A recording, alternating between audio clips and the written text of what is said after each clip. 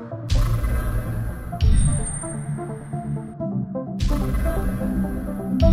you.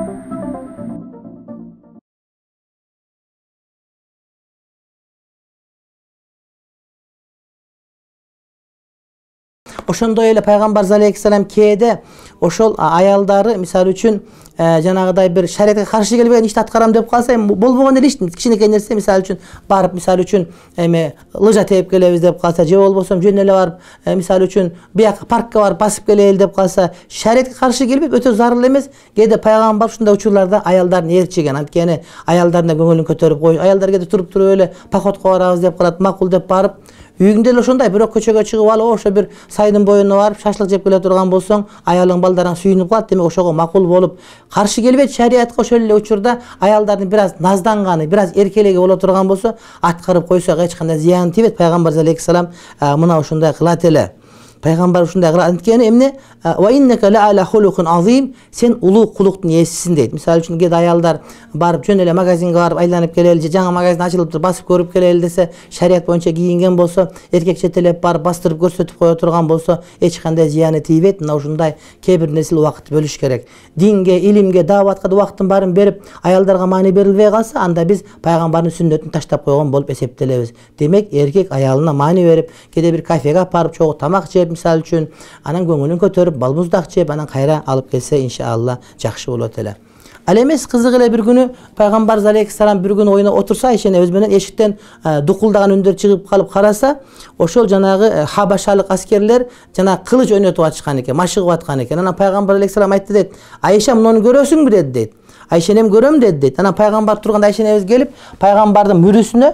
жаагын коюп ушул жака пайгамбардын мүрүсүнөн башымды коюп алып ушинтип карап отурдум дейт да анан тойдуңбу тойдуңбу тойгон жокмун тойгон жокмун дей бердим дейт өзү мага кызыксыз эле дейт болгону пайгамбардын далысына мүрүсүнө башымды коюп алып ушинтип карап отурган мага жагып анан өзүмдүн кадыр баркым элдер дагы билсин пайгамбарды менин пайгамбар мени канчалык сүйөрүн билсин деп ошо пайгамбардын мүрүсүнө башымды коюп тигилерди карап олтура бердим качан чарчаганда гана өзүмдү токтоттум болбосо аны көргөн мага көп деле кызык эмес эле болгону пайгамбарыбыз алейхисаламдын мага болгон махабат урматын көргүм келди демек аялдар зоопаркка баргысы келип калса башка болгусу келип калса жетелеп барып көрсөтүп койгон болсо албетте бул урматтуу бир тууган жакшы болуп эсептелет эркек ошол аялына жакшы мамиле кылган аялдын анча мынча каалоолору анча мынча назы анча мынча эркелигин көтөрүп ошого аткарып койсо иншалла бул жакшы болот менин убактым жок мен кыйын болуп кеттим мен чоң иштерде жүрүп атам эми сен менин башымды оорутпагыла бул нерсеге астагфирулла мен серьезный кишимин кой деп алар айтпаш керек балким аял жетелеп алып колунан кармап колтушуп алып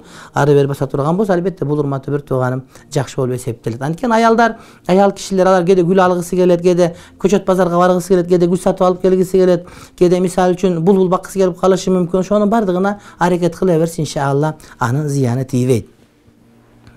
ошондой эле кээде мисалы үчүн могу ыр маселеси боюнча аялдар ыр уккусу келип калса ага көп деле каршылык көрсөтпөш керек бирок деген бул адамдарды бузуп жибере турган эмес балким комуздун коштоосунда болгон жеңишпектин аалын ырлары мисалы үчүн адамды жанагыдай бир көптүрүп жибербей турган адамды мисалы үчүн мындай бир алаксып жибербей турган адамды шахватка келтирип жибербей турган бирок ошол эле учурда маанилүү патриоттук пафостук темадагы ырларды уга турган болсо бийлей бере турган эмес балким ошол жанагыдай бир комуздун коштоосундагы мисалы үчүн энекем жөн ырларды уга турган болсо буга каршылык болбош керек. Айт күнү пайгамбарыбыз алейхисалам келсе айша энебиздин үйүндө эки кыз ырдап аткан экен. Жанагы яуму буаз деп коет. Бул жанагы аус менен хазраждын ортосундагы болгон согуштан кийин бир ырлар чыгып ошол жөнүндө ырдап атканда пайгамбарыбыз кирип анан нары карап жатып угуп жатканда абубакир келип калып туруп ой кандай бул шайтан шапалактары бул жерде кыйкырат дегенде тим кой? деп пайгамбар айтып койду айтпагын деди анткени кээде кээде адам ошондо чарчаганда эс алганда бир азыраак ыр уга турган болсо ага шарият жол берет урматтуу бир тууганым.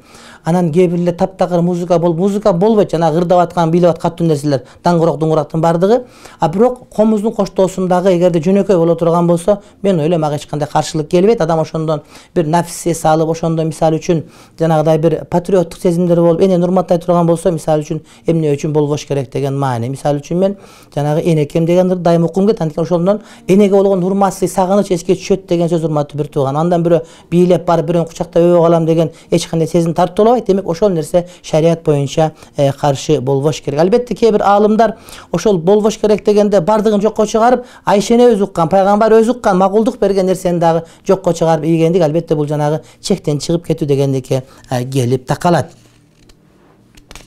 пайгамбарыбыз алейхисалам айша энебиздин оюнчуктары болот эле жанагыдай илгери жаш кезинде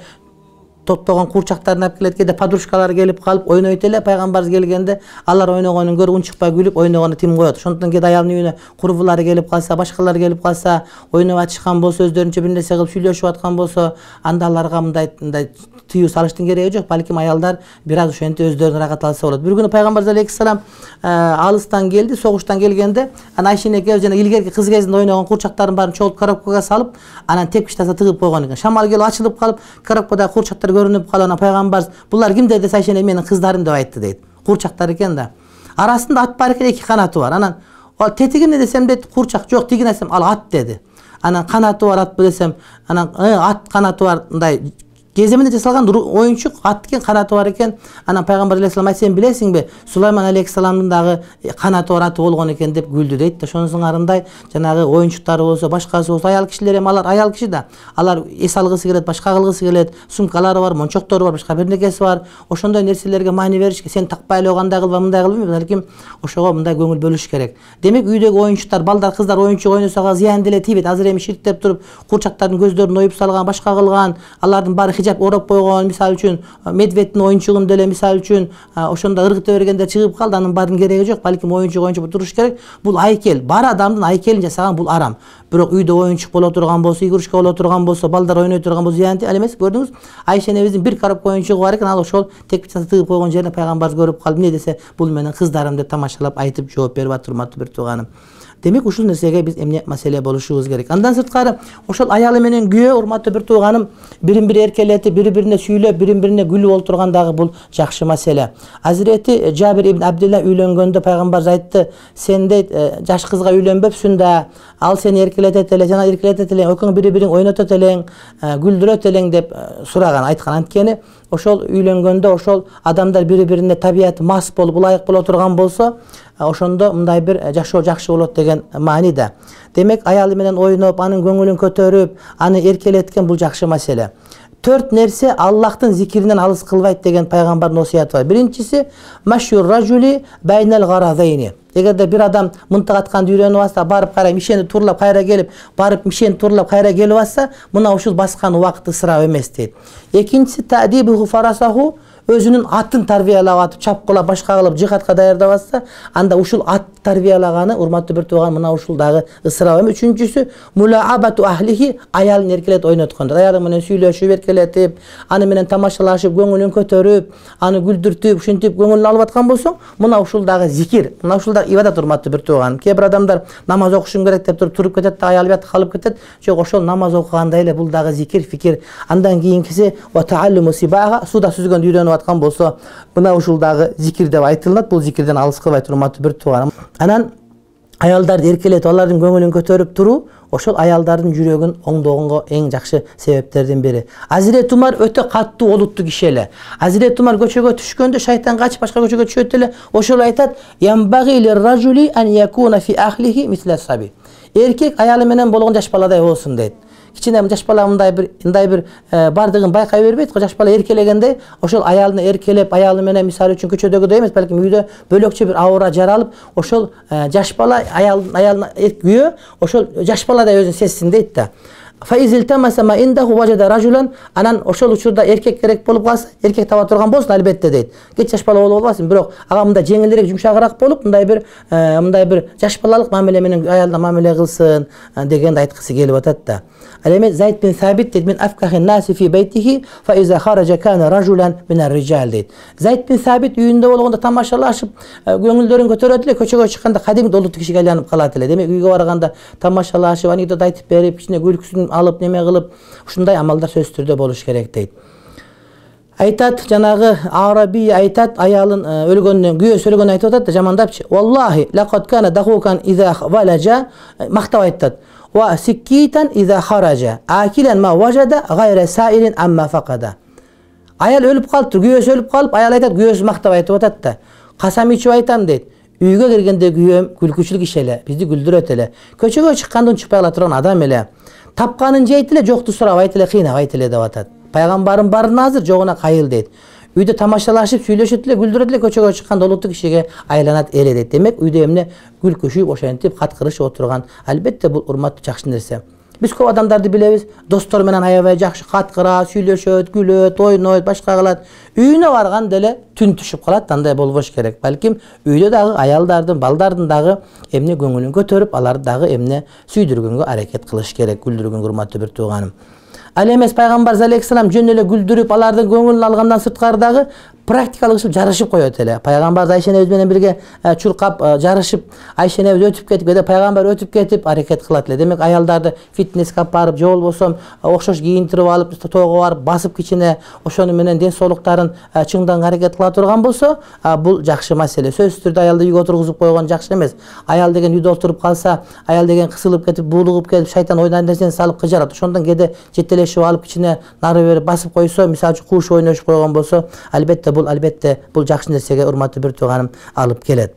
пайгамбарыбыз алейхисалам кээде ошол түн ичинде сапарга чыкканда башка жерде болгондо аялдары менен о кечке чейин сүйлөшүп отурат аны айтып эстеп муну айтып сапарга чыкканда кол бош болуп калат бир азыраак ошондо кетип атканда автобусда кетип атып төөдө кетип атып түндө уктаардын астында көпкө чейин сүйлөшүп отурушуп мындай бир пикирлерин сурап ошентип бири менен бири жакшы мамиледе болор эле урматтуу бир тууганым ошондой эле пайгамбарыбыз алейхисалам ошол аялдары менен тамашалашат эле алардын көңүлүн көтөрүп аларды күлдүрүп алардын кээде мисалы үчүн мындай бири бири менен болгон аракетине кошулуп калат эле бир күнү айша энебиз айтат үйгө дейт эме сауда келди дейт сауда энекебиз келди дейт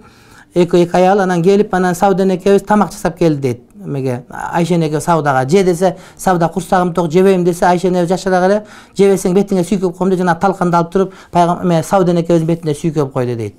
анан пайгамбарыбыз астында сауда энеке ыңгайсыз болуп калып пайгамбар сен деле сүйкөп кой деп айттым десе анан саудада калып туруп айшанын бетине сүйкөп экөө жанагы кашаны биринин бетине бири сүйкөп анан пайгамбарыбыз каткырып күлүп калганда эле эшиктен бир маалда умардын үнү чыгып калды дейт абдулла бин умар деп үн чыгып калды дейт анан баласын чакырып аткан экен эй умар келип умар азыр бизге келет кой бар бетиңе жугула уят болот деп анан күлкүсүн зорго басып ошентип айтып калды көрдүңөр кээде жанагыдай тамак жеп атып биринин бетине бири сызып коюп ошону менен мындай мындай күндөштөрдүн ортосунда деле жакшы мамиле болгон сөзсүз түрдө күндөш душман эмес бул деген ошол мындай бир жакын адамдар деп эсептелет урматтуу бир тууганым ошондуктан ушул маселеде эмне мындай бир күндөштөрдү кубалап алар жаман дештин кереги жок балким ошол башкалар дагы ошол жакшы күндөш күйүшөт анткени күндөш сенин дагы күйөөң анын дагы күйөөсү ал деген ошол күйөөңүн жакшы болушун каалайт деген. Абысын аңдышат күндөш күйүшөт деген. Ошондон келип чыгат ошон үчүн ушул маселеге тереңирээк маани бериш керек.